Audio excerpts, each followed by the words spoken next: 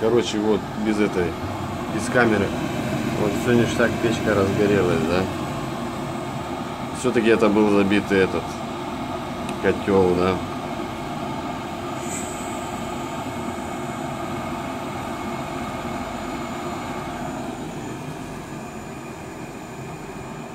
Все нормально.